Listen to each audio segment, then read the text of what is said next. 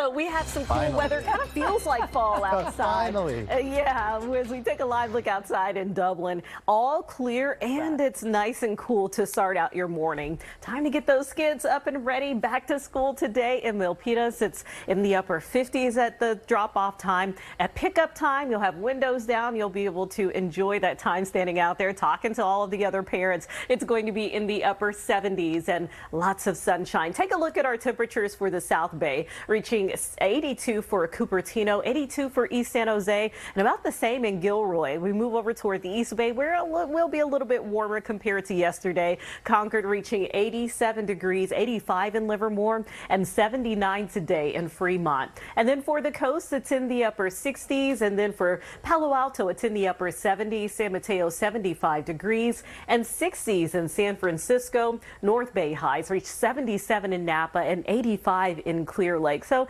some spots a little bit warmer today.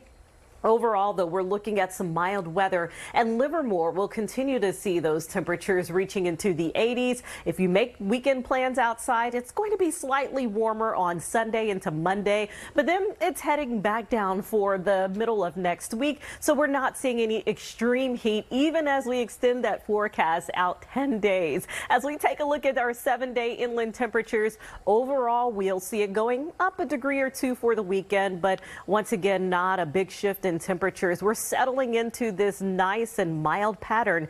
While San Francisco will continue to see fog, there may be a little bit more sunshine for your weekend outdoor activities.